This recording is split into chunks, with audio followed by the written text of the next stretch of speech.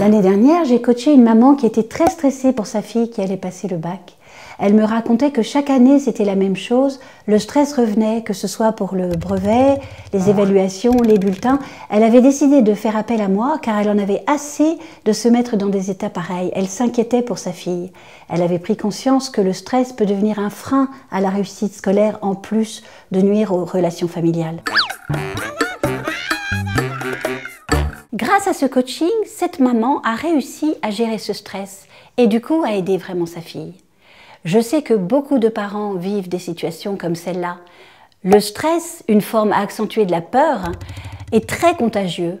Il peut monter très vite et très haut et tout gâcher. Je vous propose dans cette vidéo une démarche pour vous aider à être les parents adaptés dans cette situation délicate des examens, concours, sélections, des étapes qui vous font souvent peur. Ce rendez-vous avec vous-même vous permettra d'abord d'identifier d'où vient ce stress. De vous De votre enfant Un peu des deux? C'est votre enfant qui passe cet examen et vous avez peur. Peur de quoi? Faisons un exercice tout simple. Prenez un stylo, une feuille de papier et faites deux colonnes. Demandez-vous, de quoi ai-je peur, moi, parent De l'examen ou du concours lui-même ou d'une fin d'année trop chargée? Des conflits en famille à cette occasion? De l'incertitude face à l'avenir? Quelles sont les ressources dont je dispose, moi, parent, pour affronter mes peurs? Votre enfant a-t-il peur? Si oui, de quoi exactement? Pour le savoir, il faut juste prendre le temps de l'écouter s'il vous parle, ou sinon de décrypter ses messages non verbaux. De quels moyens votre enfant a-t-il conscience de disposer?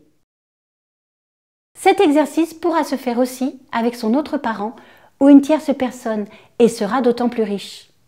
Tout cela vous permettra de rassembler des éléments constructifs pour soutenir votre enfant. Grâce à cet exercice, vous avez d'une part, vous parents, identifié les ressources dont vous disposez et d'autre part, identifier les ressources dont votre enfant dispose pour faire face à cette échéance.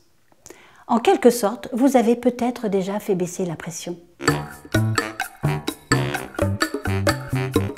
À l'heure où les tensions peuvent monter à la maison, votre mode de communication est déterminant pour votre enfant, mais aussi pour vous. T'as fait ton planning de révision? Tu as rangé ta chambre? Sont des questions fermées qui rajoutent un impératif, voire culpabilisent, alors que Comment penses-tu t'y prendre pour avoir un environnement propice au travail? De quoi as-tu besoin pour organiser au mieux tes révisions? Sont des questions ouvertes qui laissent de l'initiative à l'interlocuteur et par conséquent suscitent son dynamisme. Aux questions fermées, la réponse est oui ou non.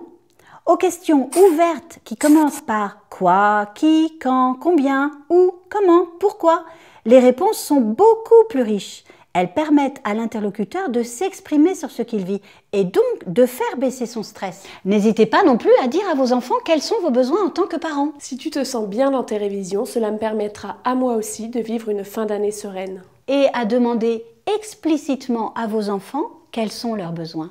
De quoi aurais-tu besoin pour appréhender le bac avec sérénité?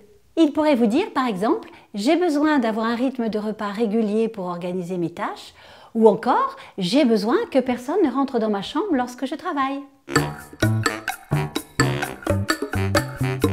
Pour évacuer le stress et créer une atmosphère détendue chez soi, il y a quelques fondamentaux à pratiquer. Respirer, s'aérer, faire du sport. Notre cerveau consomme de l'oxygène. Organiser ses tâches pour pouvoir être présent à ce que l'on vit, c'est-à-dire se concentrer. Soigner ses pauses, car notre cerveau en a besoin. Soigner vos pauses est particulièrement important. Les moments en famille doivent être de vraies pauses.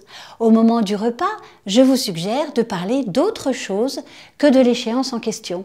Par exemple, les sorties, les projets, les vacances, les lectures, l'actualité. Vous pouvez faire à votre enfant ce beau cadeau dont vous avez vous aussi tant besoin, une bulle de repos. En effet, votre manière de vivre en dit bien plus à votre enfant que toutes vos consignes. Pour chasser le stress de fin d'année, vous pouvez donc agir de trois manières. Prenez rendez-vous avec vous-même pour évaluer la situation et trouver les ajustements dynamisants. Adaptez votre communication avec votre enfant et prenez soin de vous et de l'atmosphère à la maison.